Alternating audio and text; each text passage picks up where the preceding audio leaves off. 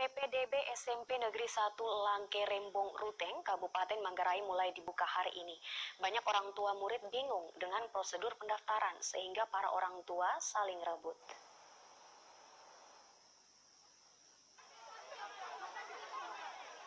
Banyak orang tua murid kebingungan proses mendaftar dan mendapatkan nomor antrian dan formulir pendaftaran. Mereka saling rebut dan berdesakan di ruang pendaftaran.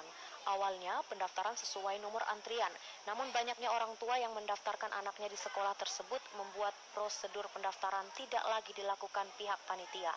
Pendaftaran akan berlangsung selama tiga hari untuk 300 murid saja.